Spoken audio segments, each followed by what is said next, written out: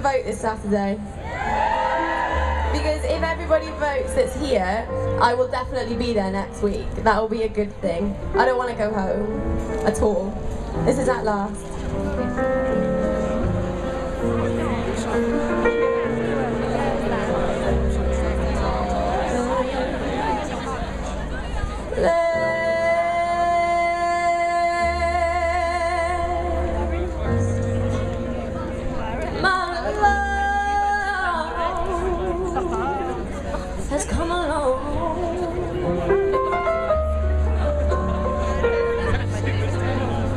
My lonely days are over.